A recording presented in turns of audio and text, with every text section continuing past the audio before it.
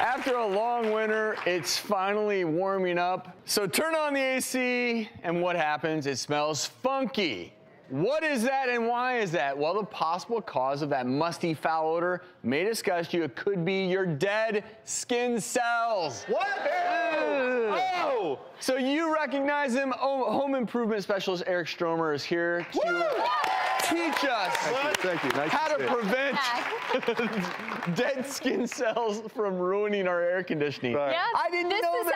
actually true. And, and we thought we had an issue with remotes in hotel rooms. Now you have to go into a hotel room and other people's skin is in your air conditioning vent? What? Well, no, we all shed skin cells every single day, and that's completely normal. But a new study shows that when you shed those skin cells, they can actually be sucked up into your air conditioning ducts. And the bacteria that lives in the duct actually breaks down, it digests those proteins, and that's how it produces the ammonia and that urine smell and that funky BO. So please tell us how we can avoid On three, one, two, three. Ew! Okay, here's what we can do. Well, the first and foremost thing is to get a filter and change. Has anyone ever seen this? Repeat after me. Filter. Yeah. You all have them. The way you know is that there's fur.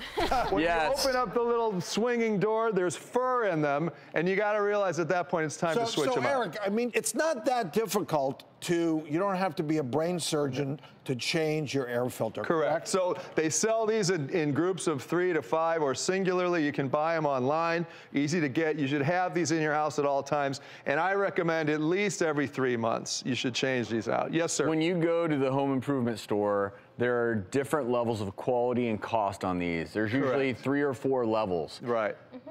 What what level should we buy in your opinion? I would like you to get at least the mid level. Okay. Okay, do that. It's a mid price point, not expensive. These are also directional. A lot of people don't realize that. These are directional, that there's an arrow that points which way the air gets sucked into the system. Make sure that you follow those directions because otherwise the thing's not efficient.